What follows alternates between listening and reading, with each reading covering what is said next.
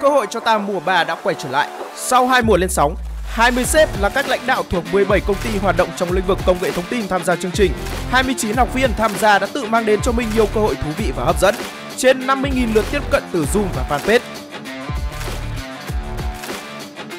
À, cuối cùng thì offer của mình à, cho vị trí làm việc tại thành phố Hồ Chí Minh à, đó là à, lương net là 15 triệu một tháng là ngay bây giờ cho em luôn là 15 triệu một tháng.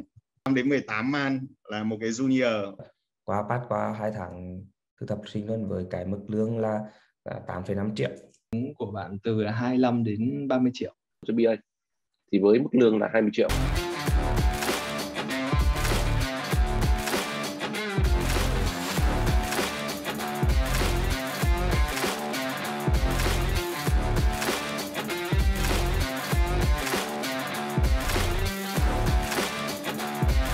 Cơ hội cho ta, cơ hội được trải nghiệm phỏng vấn tuyển dụng, cơ hội được gặp gỡ, giao lưu với các lãnh đạo công ty trong ngành công nghệ thông tin, cơ hội được lắng nghe những lời khuyên quý giá từ các sếp, cơ hội việc làm hấp dẫn.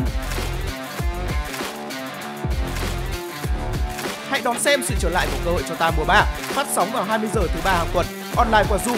Hãy đăng ký tham gia ngay để biến những cơ hội thành cơ hội cho ta.